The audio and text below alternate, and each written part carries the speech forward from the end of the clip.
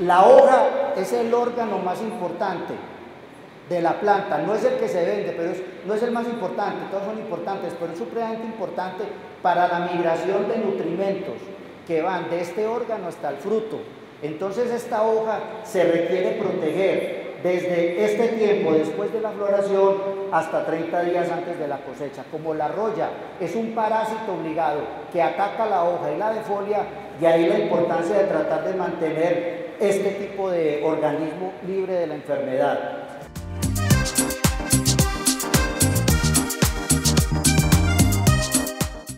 Ataca solamente hojas del cultivo del café, no se le conoce hospedante alterno. Es obligatorio que haya una película de agua sobre la hoja, no germina en condiciones secas. Después se necesitan condiciones de temperatura y se, necesitan también condiciones de oscuridad. Y finalmente, para invadir los tejidos de la hoja se requiere una temperatura de 22.5 grados centígrados con un mínimo que puede estar en 16, 17 grados y un óptimo, o un óptimo no, un nivel superior que está por los 28 grados. Después de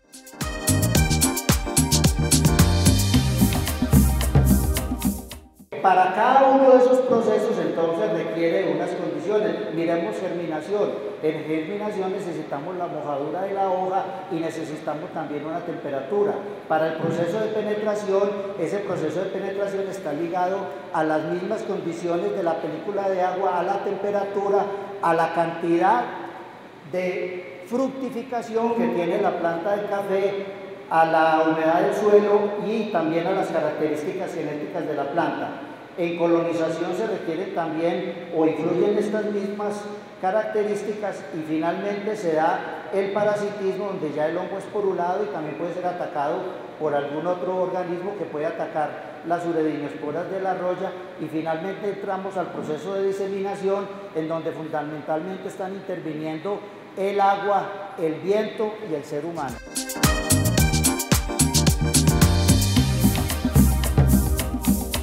es que por unas condiciones que favorecen esta presencia de, los periodos de incubación de latencia, de latencia tenemos una fase 1 donde se disemina el organismo, pero tenemos una fase 2 donde nuevamente se repite esta posibilidad de periodos de incubación y de periodo de latencia con una fase 3 donde nuevamente se están, se están produciendo.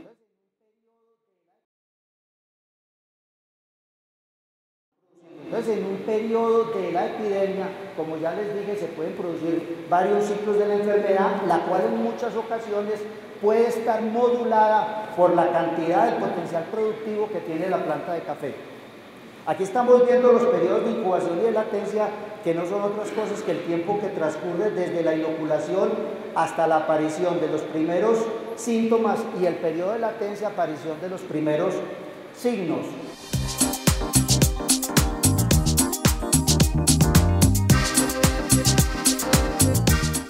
Soro, que es un conjunto de esporas, podemos encontrar lesiones en donde se pueden ver 150 mil esporas por lesión. Cada pústula puede tener una duración de 4 a 5 meses y cada pústula puede tener 4 o 5 ciclos de, de producción.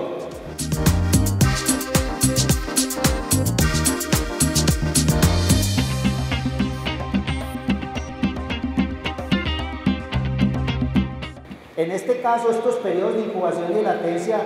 fueron de los primeros trabajos que se desarrollaron en Colombia y claramente se demostró cómo tanto los periodos de incubación como de latencia son más cortos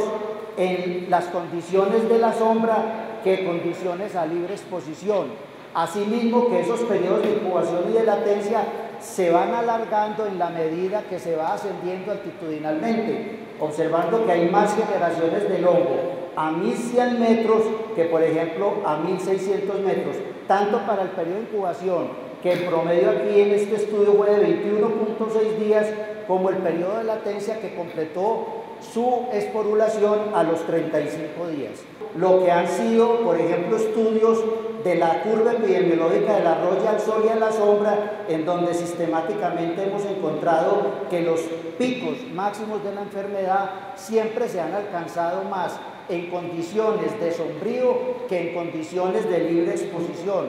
Pero el tramo desde que se inicia la fase 1 hasta que se llega al máximo de la enfermedad, sí es mucho más largo en condiciones a la sombra que en condiciones a libre exposición, fundamentalmente por la abscisión de las hojas. Entonces, tenemos por los estudios nuestros que se requiere, eh, se, inicia la epidemia en una planta de café en donde se encuentra la cosecha, que los niveles de roya se van acentuando en la medida que la planta está en unas condiciones de suelo mucho más adversos, que la roya se va incrementando cuando tenemos una labor de cultivo con el manejo de las arbensis deficiente porque la se va invadiendo la planta de café y va creando alrededor de ella una especie de microclima que al momento de hacer la limpia y destapar la planta ya se tienen unos niveles muy altos de enfermedad. La influencia de la latitud hace que la incidencia y la severidad de la roya disminuya, que el ataque de la roya es, más, es mayor en condiciones de sombra y que a mayor densidad de plantas por hectárea vamos a tener un ataque mayor.